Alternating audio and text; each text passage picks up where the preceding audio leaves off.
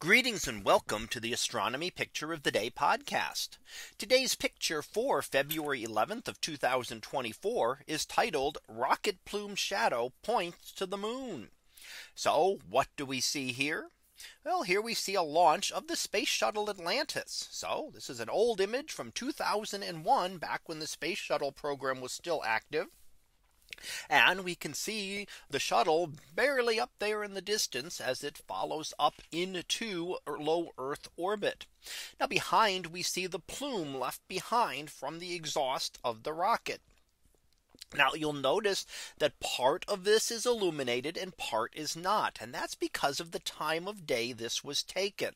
So this was taken just after sunset. So the sun for someone on the ground was had already set below the horizon. However, because Earth is spherical, if you get up high enough in the atmosphere, you can see around that curvature. And then things are still are in light. Now we notice this when we see things like a tree at sunset. You can watch and you can be sitting on the ground and be have seen the sun set below the horizon. However, if you look up at a tall tree nearby, you can see that those upper leaves are still in direct sunlight. And could you climb that tree, you would still be able to see the sun because from that height, the sun had not yet been viewed to set. Now, we, we, so you notice the top part here is very bright in the sunlight. And that is then casting a shadow. So a cloud will cast a shadow. And here we see that very distinct shadow cast by the sun. And then pointing off there in the distance toward the moon. Now in order to get this you have to have everything lined up perfectly. So this is a full moon and that is when it is exactly opposite to the sun in the sky.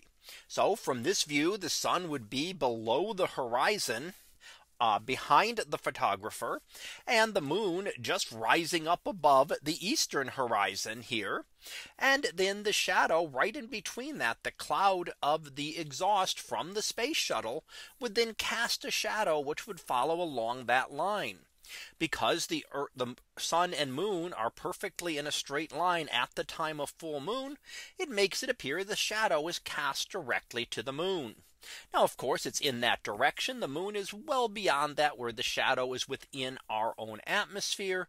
And the moon is, of course, well beyond that. But it is an interesting way to view and to see how we can see the uh, some from some heights things will still be visible around the over the horizon when they would not be visible from the ground. And you can actually see the color changing as you go up this plume.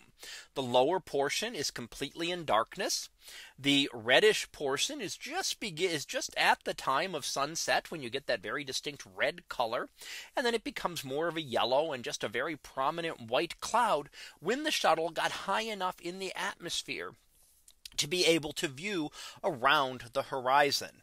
And then again, we see that shadow cast pointing off toward the moon in the distance here. So that was our picture of the day for February 11th of 2024. It was titled Rocket Plume Shadow Points to the Moon. We'll be back again tomorrow for the next picture previewed to be space orbs. So we'll see what that is about tomorrow. And until then, have a great day, everyone. And I will see you in class.